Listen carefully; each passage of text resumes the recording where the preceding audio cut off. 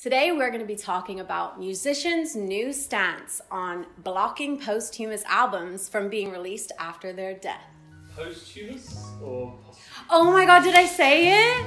Oh, sheesh. Okay, this is going to be a problem. Hey, what's up, everybody, and welcome back to another Thred Daily.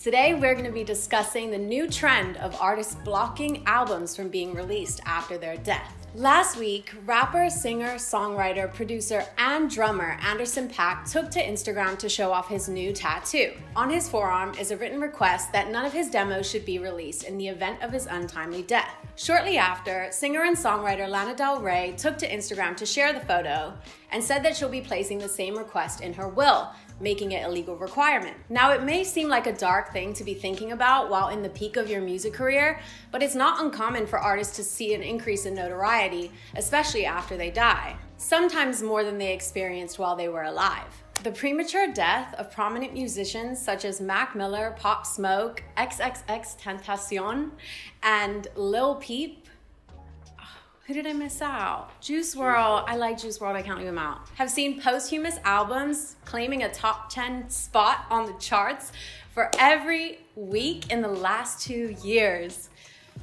Whew.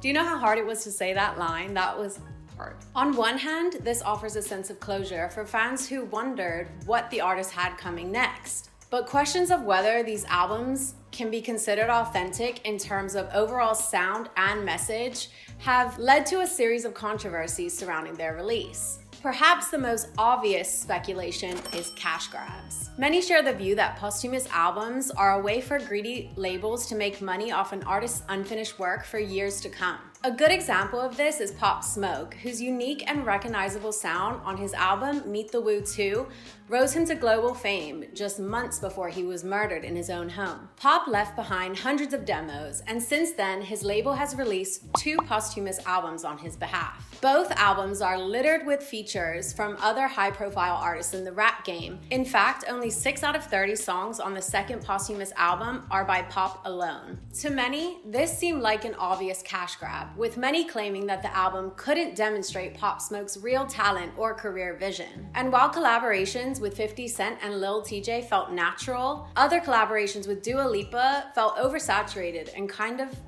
random. Which brings us to the next question Is this what the artist would have wanted? Oh, yeah, this is where I get emotional. Although late musicians leave behind archives full of demos and other audio clips, they remain demos because most of them aren't deemed ready for public listening. For this reason, a posthumous album can come across as a set of half hearted, unrefined ideas that have the potential to diminish an artist's legacy. That's not to say a good posthumous album can't be made. When completed carefully by somebody close to the artist, like in the case of Mac Miller's Circles, a posthumous album can tie a beautifully neat bow around an artist's life work, but it's still easy to imagine the ways Mac might have changed circles to fit his vision better. Taking these factors into account, it's understandable why posthumous albums are met with equal parts skepticism and anticipation from fans and critics. Music, like any other form of original art, is deeply personal to the person making it. If an artist didn't intend to share this piece of work with the world, did we really earn the right to hear it? Deep. Lana Del Rey and Anderson .Paak have made it very clear they want full direction over what is shared with the world. As the trend of posthumous albums grows, it wouldn't be surprising to see other artists do the same to protect what's rightfully their own. And can we really blame them? Let me know what you think in a comment down below. And if you'd like to learn more, head over to thred.com to read my article. As always, like, share, subscribe, and watch this space for more news on social change. A posthumous album can tie a beautifully neat bow around an artist's life, life, life's work. I can't say it.